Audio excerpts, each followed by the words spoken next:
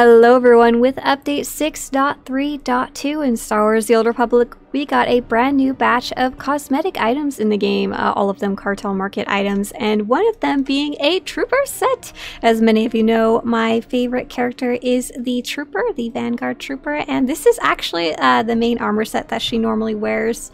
It's an old PvP set um, that can now be crafted by most crafters, but I've loved this set for a very long time, and I've kind of been hoping they would eventually release something kind of similar, but uh, with updated textures, because when you scroll in close, you can kind of start seeing a lot of those, those pixels there.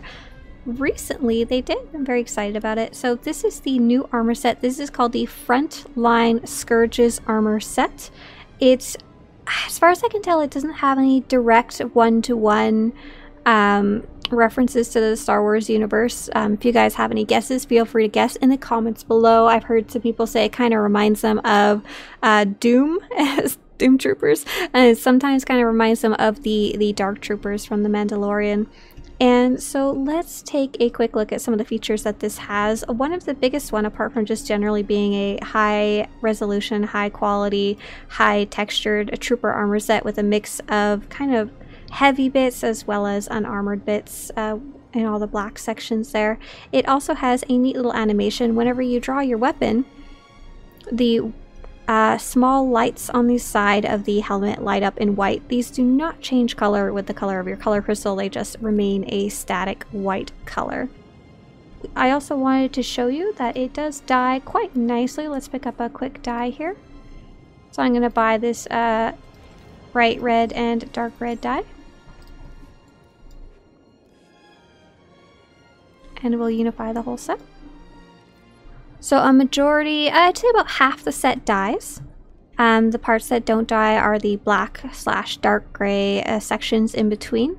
So anywhere that you see bright red, that's the primary color, and the places with dark red, that's the secondary color. So you totally can dye this suit to get some get some flavor colors in there, but you won't be able to dye the entire thing. I do once again really like the set. I have a feeling I'm going to try and make an, an outfit for this uh, for my my main character here because I think she'd she'd really like something like that. Hope you guys enjoyed this quick preview of it. I will attach one more thing at the end of this video, and that is how this character will sound in a cutscene. Seen what the Dreadmasters made Kephess do on a station. We can't let them overrun Belsavis. I've seen what the Dreadmasters made Kephess do on a station. We can't let them overrun Belsavis. Um, one other thing I did want to show you if you're considering purchasing this one is that depending on your weapon, you may have some some clipping issues in the back. This is the life of the the trooper with a with a backpack. is just just how it be. And I also wanted to show you while you're kicking around here that there's also a new blaster rifle out. So that would be for the Vanguard as well as for the Operative. Uh, this is called the Frontiersman Blaster Rifle.